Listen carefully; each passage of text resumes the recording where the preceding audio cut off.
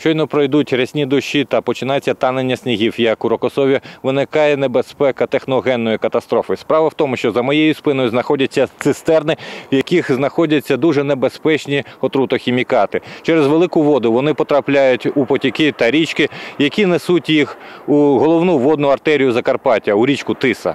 У безпосередній близькості до місця розташування отрути проживає 5230 чоловік. Та не лише ці люди наражаються на небезпеку. Місце поховання отрутохімікатів, якщо його так можна назвати, нікуди не годиться. Старі цистерни геть проіржавіли, і із них постійно витікає небезпечна речовина. Рокосівський сільський голова каже, проблема не нова і вже давно на слуху у київських чиновників. Однак вирішувати її і рятувати людей, які практично живуть за 500 метрів від зони відчуження, ніхто не збирається. Експертизу проводили Харківський інститут екологічний проводив експертизу, і там було доказано, що в ґрунтах є е, у 200-300 разів перевищує норму міст цієї хімічної речовини на тих ґрунтах.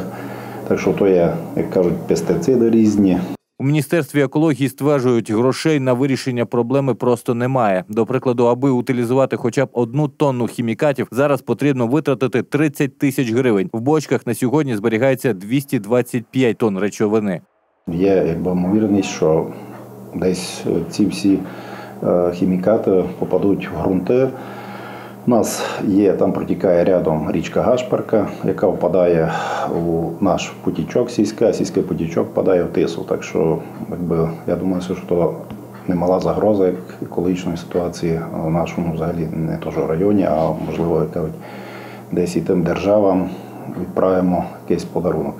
Востаннє проблемою займалися ще у 2012 році, коли Мінекології перерахувало гроші на вивезення частини відходів. Тоді утилізували 120 тонн за ціною 23 тисячі гривень за одну тонну.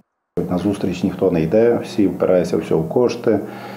Е, Будуся повторювати, якби у нас вже реалізовано було там 120 тонн.